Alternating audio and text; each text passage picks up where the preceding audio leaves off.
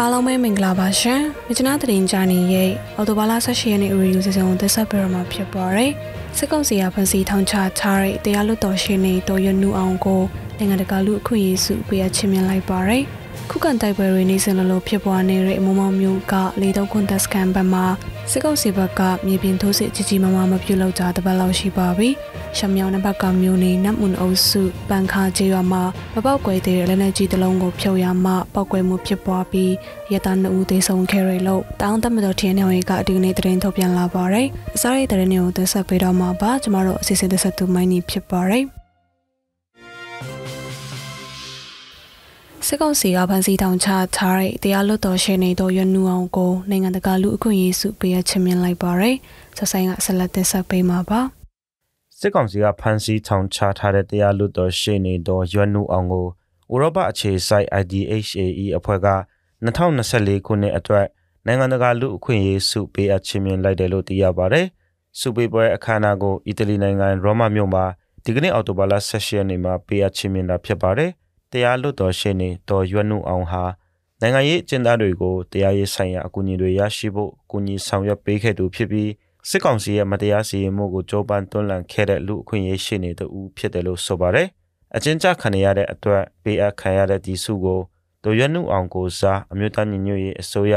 လူအခွင့်အရေးဝန်ကြီးဦးအောင်မျိုးမင်းကတယောက်စုယူပေးသွားမှာဖြစ်တယ်လို့လူမှုကွန်ရက်မှာမျှဝေအသိပေးထားပါတယ်။အခုလိုတော့ရွတ်နုအောင်ကိုစစ်ကောင်စီက မတရားထောင်ချထားတာဟာအမှန်တရားနဲ့တရားမျှတမှုကိုကြောက်ရွံ့နေတာကိုတက်တည်ပြနေတဲ့လုပ်ရဖြစ်တယ်လို့လည်းဦးအောင်မျိုးမင်းကဆိုထားပါတယ်။ရှင်းနေတော်ရွနုအောင်ကိုစစ်ကောင်စီဟာ2022ခုနှစ်ဒီဇင်ဘာလကငွေကြေးထောက်ပံ့မှုဆိုင်ရာဥပဒေပုံမှန်90ညနဲ့ထောင်ဒဏ်15နှစ်ချမှတ်ခဲ့တာဖြစ်ပြီးလက်ရှိမန္တလေးဥပ္ပိုလ်အကျဉ်းထောင်မှာအကျဉ်းချခံနေရတာဖြစ်ပါတယ်။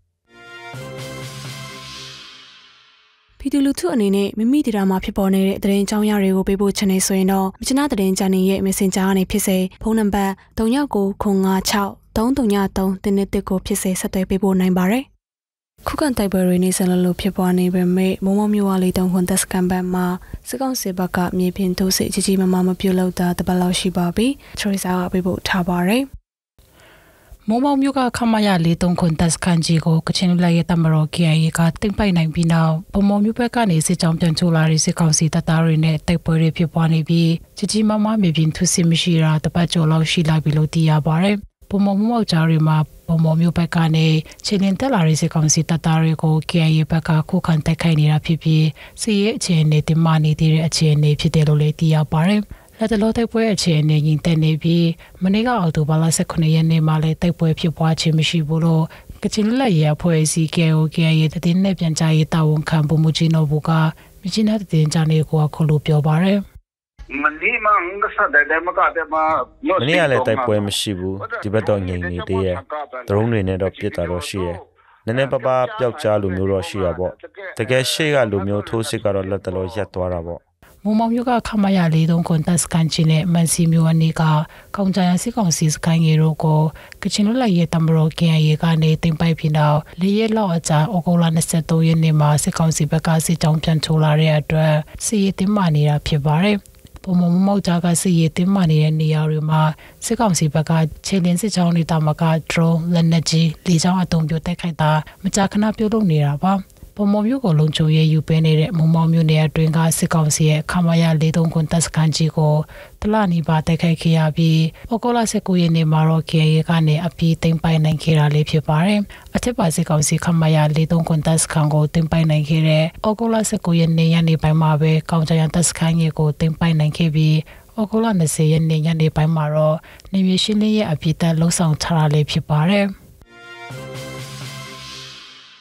ရှမြောင်းနံပါတ်ကမြို့နယ်နမ်အွန်အုပ်စုဘန်ခါကျေးရွာမှာမပောက်ကွဲတဲ့လက်နက်ကြီးတစ်လုံးကိုဖြုတ်ရမှပောက်ကွဲမှုဖြစ်ပွားပြီးအရတာနှစ်ဦးသေဆုံးခဲ့ရလို့တောင်တမတော်ထင်းနေဝေကဒီကနေ့သတင်းထုတ်ပြန်လာပါတယ်။ပြီးခဲ့တဲ့အောက်တိုဘာလ15ရက်နေ့မနက်7:00နာရီအချိန်ကဘန်ခါကျေးရွာမှာတိုက်ပွဲအတွင်းမပောက်ကွဲတဲ့60မမအမျိုးအစားလက်နက်ကြီးတစ်လုံးကိုအမျိုးသားနှစ်ဦးဟာယူဆောင်လာပြီးဘုံသီးမှရှိအရမုံတွေကိုထုတ်ယူဖို့ကြိုးပမ်းနေစဉ်အတွင်းမှာပောက်ကွဲမှုဖြစ်ပွားခဲ့တာဖြစ်ပြီးနှစ်ဦးလုံးသေဆုံးခဲ့တာလို့ဆိုပါတယ်။သေဆုံးသွားတဲ့အမျိုးသားနှစ်ဦးဟာပန်ခါကျေးရွာမှာနေထိုင်တဲ့အသက်29နှစ်အရွယ်ခွန်ကြာချောင်းနဲ့ခုံမုံကျေးရွာကအသက်60နှစ်အရွယ်ဦးညီထွန်းတို့ဖြစ်တယ်လို့သိရပါတယ်။ပြီးခဲ့တဲ့မတ်လ23ရက်နေ့ကလည်းနံပါတ်ကာမှာမပေါက်ကွဲတဲ့ရက်လက်နက်ကြီးတစ်လုံးကိုယူဆော်မိယာမှပေါက်ကွဲပြီးမြို့သားသူတိတ်ဆုံးခဲ့တယ်လို့ဆိုပါတယ်။ဒါအပြင်မေလ23ရက်နေ့ကလည်းမပေါက်ကွဲတဲ့မိုင်းကိုကလေးတွေယူဆော်ရမှပေါက်ကွဲပြီးတော့သူတိတ်ဆုံးက လေးဦးတန်ရရှိခဲ့တယ်လို့ဆိုထားပါရယ်လက်ရှိလက်နက်ကန်တပ်တွေထိန်းချုပ်ပြီးအုပ်ချုပ်ရေးရင်တရားဖော်ဆောင်နေတဲ့ရှမြောက်ဒေတာကနေရာတွေမှာတိုက်ပွဲတွေပြင်နှံခဲ့ချိန်တုန်းကစစ်ကောင်စီဟာလေကြောင်းအပုံတွေကြေချတာအပြင်လက်နက်ကြီးပစ်ခတ်မှုတွေပါပြုလုပ်ခဲ့တာဖြစ်ပါရယ်ကလေးဖြတ်ချရခြင်းရဲ့နောက်ဆက်တွဲဆိုးကျိုးကဘာတွေဖြစ်မလဲအမျိုးသမီးတချို့မှာအကြောင်းအမျိုးမျိုးကြောင့်ကိုယ်ဝင်ရလာတဲ့အခါမှာအချိန်လွန်မှမလို့ချင်းတို့ဖြတ်ချဖို့ နီးမျိုးစုံသုံးပြီးကိုယ်ဝင်ကိုဖြတ်ချတတ်ကြပါတယ်လက်တင်နဲ့အနှိမ်မားလို့လက်တင်မနိုင်လို့တိတ်ဆုံးသွားရတဲ့အမျိုးသမီးတွေလည်းဒူးနဲ့တဲပါပဲဒါလို့ရင်ဒါဖြစ်မဲ့တိတိနဲ့အကာအကွယ်မယူကြပဲအတူနေရာကနေကိုယ်ဝင်ရလာတဲ့အခါအချို့ကတော့ကလေးတွေကိုစွန့်ပစ်တတ်ကြပါတယ်တချို့လည်းလူမတိအောင်ကိုဝင်ဖြတ်စေးတောက်ရာကနေကလေးတော့ပြက်ကြပေမဲ့မိမိတောက်လိုက်တဲ့ဆေးရဲ့ဆိုးကျိုးကိုလည်းတွေးမိကြပါမလား ကိုဝင်ဖြတ်ချဖို့တောင်းတဲ့နီးအမျိုးမျိုးမှာပြင်းထန်တဲ့ဆိုးကျိုးတွေဖြစ်စေနိုင်ပါတယ်ဘာလို့လဲဆိုရင်ဖြတ်ချရမှာတချို့ကမိမကိုယ်တက်ကိုစပိန်စမုတ်တန်နဲ့ထိုးချပြီးဖြတ်ချသလိုတချို့ကကြက်မွေးထိုးထည့်ပြီးဖြတ်ချကြတယ်ဓာတုပေတာဆေးရည်ထည့်ပြီးဖြတ်ချအနိတ်တဲစီကအပေါ်ကနေဖိနှိပ်ချခံပြီးဖြတ်ချကြတရုတ်ကလာတဲ့ဆေးတွေအွန်လိုင်းပေါ်ကဆေးတွေတောက်ကြတယ် တကယ်ကိုနီးမျိုးစုံနဲ့ဖြတ်ချကြတာအလွန်ကြောက်စရာကောင်းပါတယ်အဲ့လိုဖြတ်ချခြင်းရဲ့နောက်ဆက်တွဲကဘာတွေခံစားရမလဲဆိုရင်ကိုဝန်ဟာဖြတ်ချတိုင်းမပြတ်ကြခြင်းကိုဝန်ကမပြတ်ပဲတအိမ်ထဲမှာကလေးတည်နေခြင်းကလေးအသေးမွေးခြင်းမပြတ်ကြပဲမွေးလာခဲ့ရင်ကိုလက်အင်္ကာမပြည့်စုံခြင်း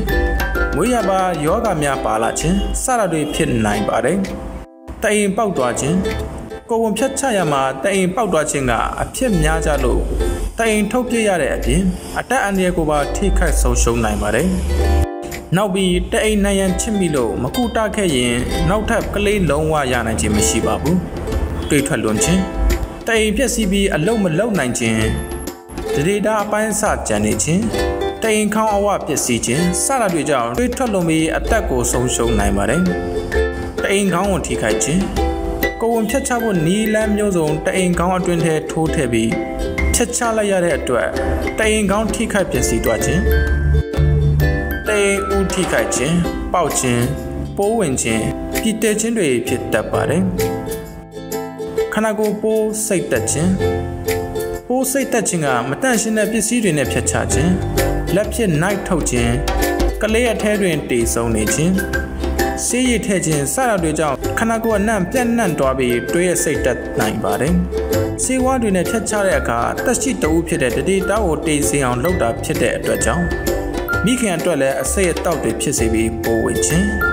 တတိလစ်ခြင်းကိုယ်တွင်းအစိတ်တက်ပြီးဖြားခြင်းတွေဖြစ်စေတတ်တယ်လို့ပိုးကတအိမ်မှတဆင့်တွေးကြောထဲဝင်ပြီးတော့တကိုယ်လုံးကိုပြန့်နှံ့ပြီးကိုယ်တွင်းအင်္ဂါတွေအလုံးမလုံးတော့ပဲအသက်ပါဆုံးရှုံးနိုင်ပါတယ်။နောက်ပြီးကိုဝင်ဖြတ်ချခြင်းကြောင့်နောက်ပိုင်းကလေးမယူခဲ့ရင်တအိမ်ပြင်းမှာတတိတဲခြင်း တားဥအိမ်တားဥပြုံဝမ်ဘိုင်စတဲ့နေရာတွေမှာတတိတဲခြင်းကိုဝင်ဖြတ်ချထားခြင်းကြောင့်တအိမ်နေရာတွေမှာအမာရွရှိနေခြင်းအမာရွကြောင့်အချင်းရှေ့ရောက်နေခြင်းအချင်းရှေ့ရောက်ခြင်းကြောင့်ကလေးကိုလက်အင်္ဂါချို့ရနိုင်ခြင်းလမ်းမစစ်ပေါင်မပြည့်ပဲကလေးမွေးဖွားလာခြင်းအပြင်ကိုယ်ဖြတ်ချတဲ့နီးတွေကြောင့်ပြုံနေပိတ်ပြီးကလေးမရနိုင်ခြင်းဝမ်ဘိုင်အတွင်ပြီးတဲခြင်းကြောင့်ပူလန်းကြောင့်ဖောက်ဖြတ်ထုတ်ရခြင်း စီလန်းကြောင့်ပေါက်ခြင်းစတာတွေဖြစ်နိုင်ပါတယ်ဒါကြောင့်ကိုယ်ဝင်ဖြတ်ချခြင်းနဲ့နောက်ပိုင်းဆိုးကျိုးတွေကကြောက်စရာကောင်းပြီးလုံးဝကလေးမရနိုင်တာတွေအထိရှိပါတယ်ကိုဝန်ဖြတ်ချခြင်းကကလေး၁၀ယောက်မွေးတာနဲ့ညီမျှတယ်လို့ရှေ့လူကြီးတူမတွေပြောတာကြားဖူးကြမှာပါကိုဝန်ဖြတ်ချပြီးဒီဆိုးကျိုးတွေအပြင်နောက်ပိုင်းဆိုးကျိုးထက်ရှိပါသေးတယ်အဲ့ဒါကတော့ရင်သားကင်ဆာဖြစ်ခြင်းနဲ့စိတ်ဝေဒနာခံစားရခြင်းပါ ရင်သားကင်ဆာဘာကြောင့်ဖြစ်ရတာလဲဆိုရင်ကိုဝန်ရှိနေစေရင်သားကနှုတ်ထွက်စေတဲ့ဟော်မုန်းအပြောင်းအလဲရှိပါတယ်ဟိုမုန်းအပြောင်းလဲကြောင့်ရင်သားဆဲတွေကင်ဆာဆဲတွေအဖြစ်ပြောင်းလဲနိုင်တယ်လို့ပုံမှန်ကိုဝန်ဆောင်ခဲ့ရင်တော့ကင်ဆာဆဲအဖြစ်မပြောင်းလဲနိုင်ပါဘူးကိုဝန်ဖြတ်ချခဲ့ရင်တော့ရင်သားကင်ဆာဆဲအဖြစ်ရောက်နိုင်ပါတယ် စိတ်ဝေဒနာခံစားရခြင်းကိုယ်ဝန်ဖြတ်ချက်ခြင်းကြောင့်ရုပ်ပိုင်းဆိုင်ရာထိခိုက်မှုတောင်မကစိတ်ပိုင်းဆိုင်ရာထိခိုက်စေပြီးယူတွတ်သွားတဲ့အထိခံစားရနိုင်ပါတယ်မြချနာသတင်းချန်နေရေးရေဒီယိုအစီအစဉ်ကိုအပတ်စဉ်သတင်းလာနေရနေတောက်ကြနေအထိည၈နာရီအချိန်တိုင်းမှာတင်ဆက်ပေးတော့မှာဖြစ်တဲ့အတွက်စောင့်မျှော်နာဆင်နိုင်ပါပြီ။ကချင်ပြည်နယ်အတွင်းကနောက်ဆုံးရသတင်းတွေနဲ့အတူ အခြားစိတ်ဝင်စားစရာကောင်းတဲ့သတင်းတွေကိုလည်းမြချနာသတင်းချန်နေ app Facebook စာမျက်နှာ YouTube နဲ့ website တို့ကနေသင်လဲစောင့်မျှော်ကြည့်ရှုနားဆင်နိုင်ပါပြီ။